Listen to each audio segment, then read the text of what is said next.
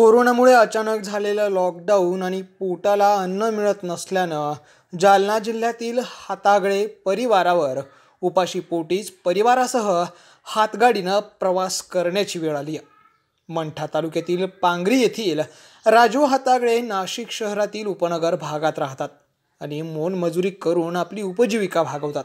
मात्र अचानक लॉकडाऊन झाल्यानं हाताला काम नाही आहे आणि त्यामुळे पोटाला अन्न नाही आहे शासनाची कोणतीही मदत नाही यामुळे त्यांच्या परिवारावर उपासमारीची वेळ येऊन ठेपली आहे. म्हणून पायीच आपल्या गावी जाण्याचा निर्णय त्यांनी घेतला आहे असं पाणावलेले डोळे पुसत राजू हातागळे यांनी न्यूज इंडिया ट्वेंटी सेवनला सांगितलं. राजू हातागळे जालना जिल्हा तालुका मंठा पांगरी बुद्रुक माझं गाव आहे. आईवडील आजारे आजारी असल्यामुळे मला गावाकडे जाणं लागायले.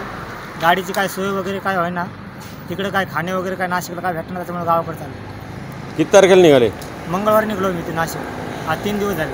नाशिकला कुठं राहत होते? उपनगर. बरं. आणि तिथं तर शासनाने सगळी खाण्यापिण्याची राहण्याची सोय केली ना तुमची? शासनाने काहीच दिलं नाही. राशन दुकानात गेलो राशन दुकानात बी काही दिलं नाही काय नाही.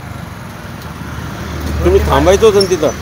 थांबाया साहेब लेकरं हे खाणं पिणं कसं दाखणार आज वीस पंचवीस दिवस झाले. असं थोडं चालणार आहे. त्याच्यामुळे गावजवळ करायला लागलं. रणरणत ऊन. अनवाणी पाय आणि हातगाडीवर आपला संसार उपयोगी सामान लादून लहान मुलांना खालच्या कप्प्यात टाकलेला पाहून अनेकांची मनं हेलावलीत. हृदयाला पाझर फोडणारे हे दृश्य देशाची करुण कहाणी कथन करत होतं. येवला येथील विंचूर रोडवर पोहोचल्यानंतर शिवभोजन थाळी केंद्रातून संपूर्ण परिवाराची भोजनाची व्यवस्था करण्यात आली. भोजनानंतर रखरखत्या उन्हात हा परिवार पुढच्या प्रवासाला निघाला. त्यांच्या समवेत राजेंद्र म्हस्के बुद्धिमान मानकरी सुनीता हातागळे मीरा म्हस्के सहा वर्षांचा रत्नदीप पाच वर्षांची विद्या आणि दीड वर्षांची संध्या ही लहान अशी चिमुकली पोरं देखील होती. News India twenty seven Yeola.